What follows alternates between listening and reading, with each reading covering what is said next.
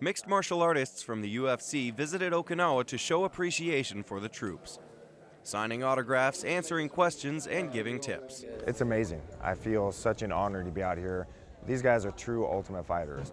Nate Quarry expressed how it makes him feel knowing his advice could help save a life. To know that I made such a difference in helping someone to go back to their family, that would be an incredible honor. To have these, uh, these fighters come out here and kind of demonstrate for us and do a little practical application, I think is, is very good. The opportunity had HM3 Matthew Powell, in his own words, a bit starstruck.